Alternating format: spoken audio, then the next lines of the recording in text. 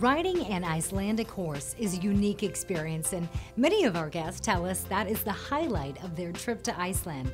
You may know that the Icelandic horse has many unique characteristics, and they have a lovely and friendly personality, and their many gaits make them fascinating. And while here, maybe you will experience this for the first time.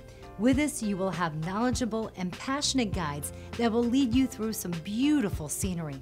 We can also take care of transportation and pick you up where you are staying and get you back. No matter what your level of experience, we take care of you and handpick for you a horse that suits your ability.